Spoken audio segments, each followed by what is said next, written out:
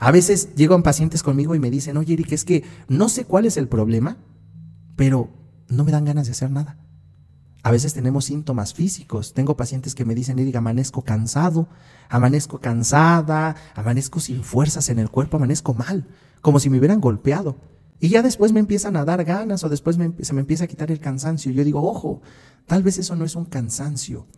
A lo mejor tú lo sientes y lo percibes como un cansancio físico. Tú interpretas tal vez que tu cuerpo está cansado. Pero la gran pregunta es, ¿no será que tu cerebro es el que ya se cansó? ¿No será que tienes una fatiga emocional impresionante y que ya no puedes con tu vida?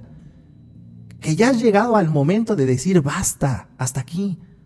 Ya no aguanto a mi esposo, ya no aguanto a mis hijos, ya no aguanto a mi mamá, ya no aguanto los problemas, ya no aguanto mi trabajo y quieres tirar la toalla.